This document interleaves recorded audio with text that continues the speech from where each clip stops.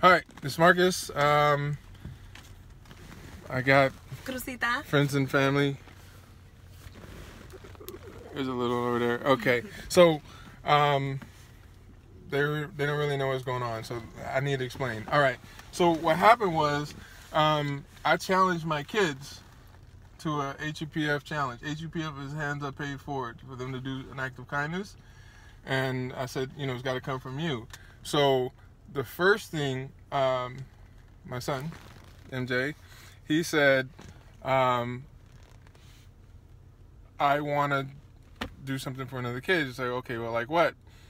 Um, well, he said, I want to. Anyway, we found out that you know it was your birthday.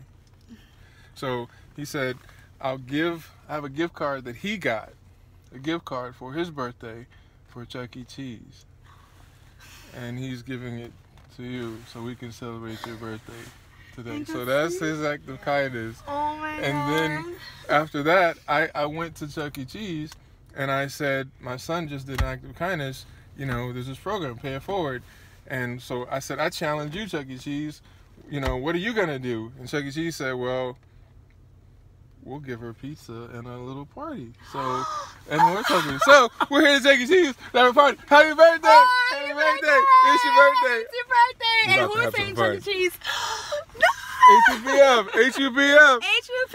Hands up, pay forward.